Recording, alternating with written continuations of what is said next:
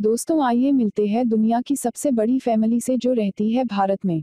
दुनिया का सबसे बड़ा परिवार जो मिजोरम की राजधानी आइजुल के पास बख्तवांग गाँव में रहता है। इस एक परिवार में एक सौ सड़सठ सदस्य हैं और सभी एक ही घर में रहते हैं।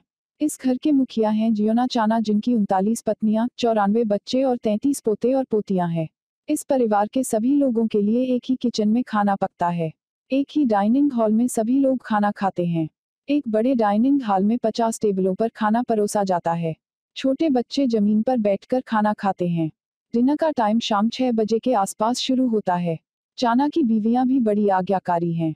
सभी एक साथ एक ही घर में रहती हैं और आपस में बहुत प्रेम करती हैं। जियून की पत्नियाँ खाना बनाती हैं, जबकि बेटियाँ घर के दूसरे काम देखती हैं और साफ़ सफ़ाई की ज़िम्मेदारी बहुएँ संभालती हैं।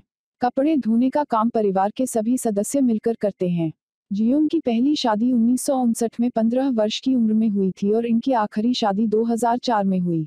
एक सौ सड़सठ मेंबर्स की फैमिली जिस घर में रहती है, उसका नाम चौंथर रन न्यू जनरेशन होम है।